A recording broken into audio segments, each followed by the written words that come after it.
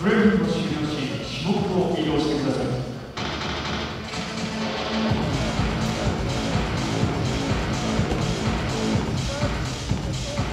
Earliest memories are just tumbling like a crazy kid on Tumbl Trak. Tumbl Trak has been a part like of our family and our gymnastics and our gym for as long as I can remember.